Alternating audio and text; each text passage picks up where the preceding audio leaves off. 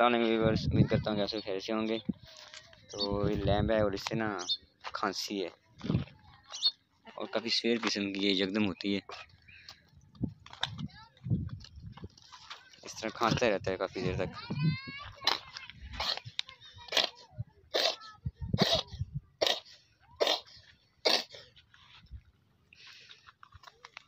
इसकी आँखों का मसला है।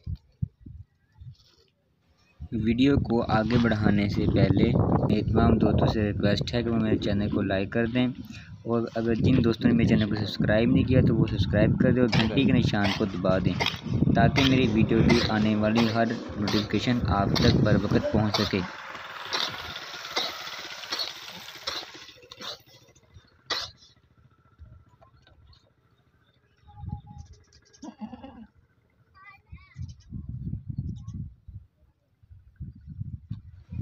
इस मसला में सबसे पहले तो हम यूज़ कर रहे हैं जी इंजेक्शन टाइजेंट।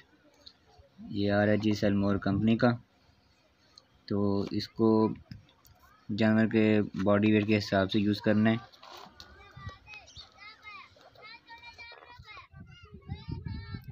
टिकट दर्द करेगा।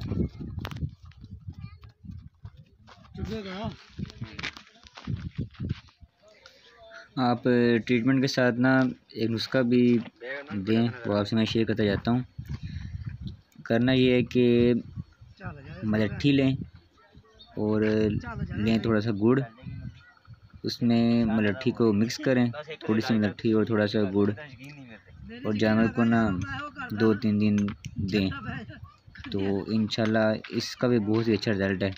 ये सांस का किसी भी किस्म का मसाइल हो ना तो जानवर बहुत जल्दी रिकवर होता है।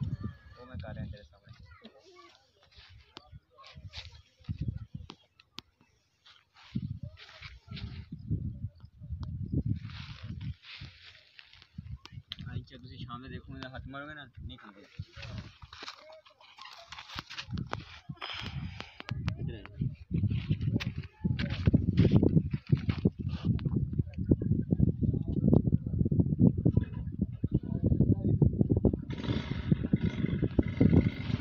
इसमें साथ बताएँ जी इंजेक्शन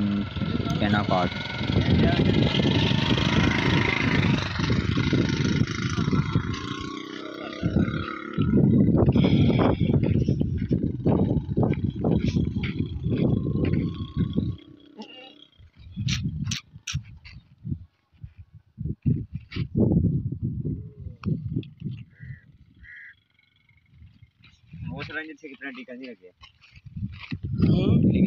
ऐसे नहीं लगे। अब हम इसको लगा रहे हैं इंजेक्शन लॉक्जन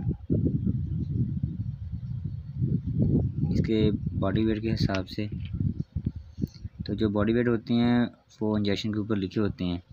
तो आप कोशिश करें कि उसी हिसाब से ना डोज लगाएँ। ये आँखों के लिए दे रहे हूँ। बोरिक एसिड दे रहा हूँ।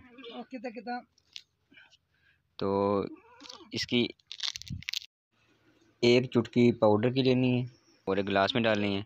डालकर आँखों पर ना मारना है। दिन में दो से तीन मरतबा।